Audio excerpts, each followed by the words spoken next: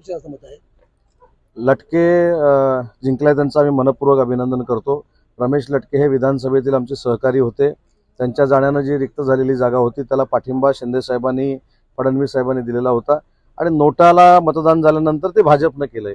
मला असं वाटतं की याच्यामध्ये काही तथ्य आहे असं वाटत नाही पण एक मात्र नक्की आहे की नोटाला मतदान का झालं याचं आत्मचिंतन प्रत्येक प्रत्येक पक्षानं केलं पाहिजे. आणि ज्यावेळी प्रचार करणाऱ्यांच्या लक्षात आलं की नोटाला मतदान होणार आहे मग आता वाईट कोणी केलं? ते शिंदेने आणि फडणवीसांनी केलं. म्हणून नोटाला जे मतदान झालं ते सुद्धा फडणवीसांच्या नेतृत्वाखाली झालं असे जे काय सांगण्याचा प्रकार आहे त्याच्याशी मी अजिबात सहमत नाही. परंतु नोटाला जे हजारो मतदान झालंय त्याच्यातनं प्रत्येक पक्षानं आत्मचिंतन केलं पाहिजे अभ्यास केला पाहिजे आणि त्याच्यापेक्षा कमी मतदान झालंय त्याचा देखील अभ्यास केला पाहिजे.